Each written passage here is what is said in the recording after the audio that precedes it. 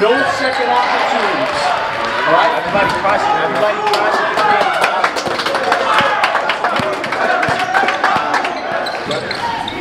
Number 11, off the ball? Number three, we both have to of us. You know I'm saying? Not not happening. You know what I'm saying? Number five, you know what I'm saying? You will shoot too if you will. These two guys right here, make that machine up there go. You know what I'm saying? All of us right here, you know what I'm saying? Together, all of us together tonight, you know what I'm saying? We stop it. Man, that right, we stop it. We this tonight, fellas, you know what I'm saying? This energy. Energy, energy, energy. Defense, defense, defense. That's what's going to This is a big game tonight, guys. Don't, do not let the re- officials At dictate At the all. end of this game. At all. Do not talk to them. Do not. I know sometimes we get into the game heavy and we make a great play and we want we watch a lot of TV. Do not even look at the other team. Don't even point at the other team. Guys, this game is personal today. Personal today. Yep. And will put us in a great spot if we can get a victory today. Yup, and we have those kind of refs. Letting you know now. That's looking for that. First game was a fluke. Remember what y'all did with the first game. You know what I'm saying? How y'all felt at the end. Y'all walked off. Y'all walked off. Remember, y'all, they made, they made y'all walk off. The, you know what I'm saying? Remember that? Remember. It's a different outcome tonight. Let's go.